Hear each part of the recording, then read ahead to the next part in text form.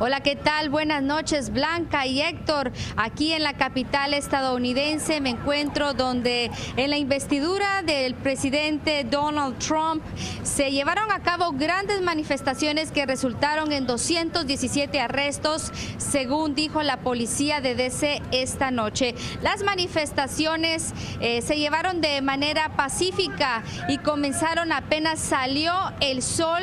Muchos desafiaron las rígidas temperaturas y en ocasiones la lluvia, pero luego todo cambió a las 10.30 de la mañana cuando un grupo de 400 y 500 personas realizaron actividades de manera intencional desplazándose hacia el sur de la calle 13 noroeste, según las autoridades, algunos armados con barras metálicas y martillos destruyeron vehículos, los cuales quemaron.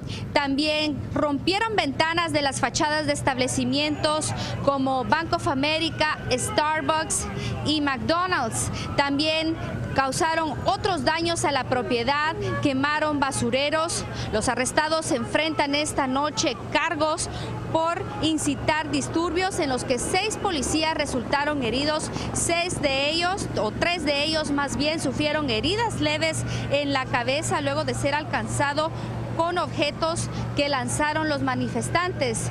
La policía de Washington dice que está preparada para lidiar con las protestas que continúan esta noche, como pueden ver aquí a mis espaldas en McPherson Square, y permitirles que sigan expresando sus ideas y filosofías, pero de manera pacífica, mientras continúan los festejos para dar la bienvenida a Donald Trump como el presidente número 45 Estados Unidos, quien hoy prometió no defraudar al país, hacer América grande otra vez y devolver el poder al público en momentos en que el país se encuentra dividido y luego de una controvertida campaña para llegar a la Casa Blanca. Este fin de semana continuarán las protestas.